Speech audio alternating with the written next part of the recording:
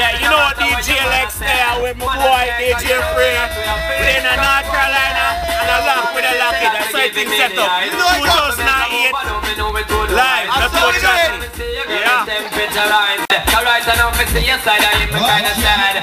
Now I make you slip to me and you want to man. Hot, sexy, funky. And I'm the person recording this stuff. And this is the rock. DJ Fred.